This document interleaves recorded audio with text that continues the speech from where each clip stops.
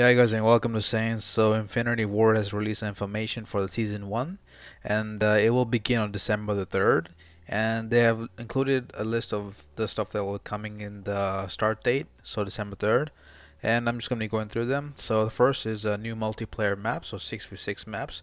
We got the Crash, Vacant and Shipment and then some of these are coming back from the previous games which is sick. Then we have a new Ground War map called Port and then we have uh, currently announced is two uh, uh, 2v2 gunfight maps called Cargo and Atrium.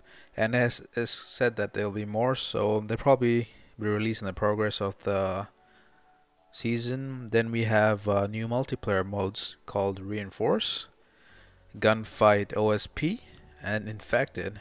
I'm actually looking forward to Infected mode. Should be interesting.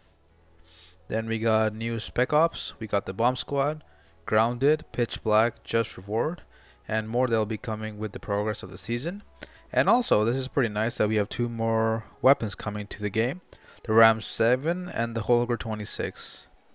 And it has been teased that there might be new operators into the game called Mara and Nik Nikto? Nikto?